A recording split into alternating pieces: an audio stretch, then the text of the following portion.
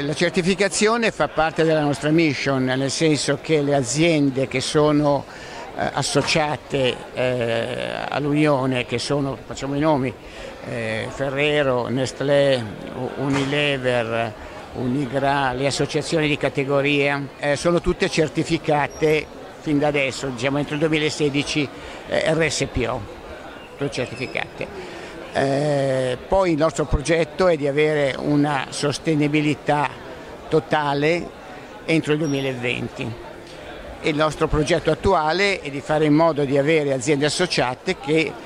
eh, si adeguino a quello che è il nostro statuto, cioè di avere una certificazione, eh, in questo momento RSPO, ma essere, potrebbero essere anche altre, eh, entro il 2016. Diciamo che le aziende associate già sono sulla buona strada, forse in queste settimane hanno già completato il loro processo di certificazione. Certificazione è un processo molto complesso, Beh, ehm, evidentemente il nostro obiettivo è,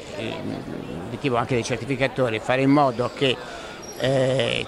di arrivare a una tracciabilità eh, del palma che si mette nel prodotto che non arrivi da deforestazione o comunque arrivi da una deforestazione controllata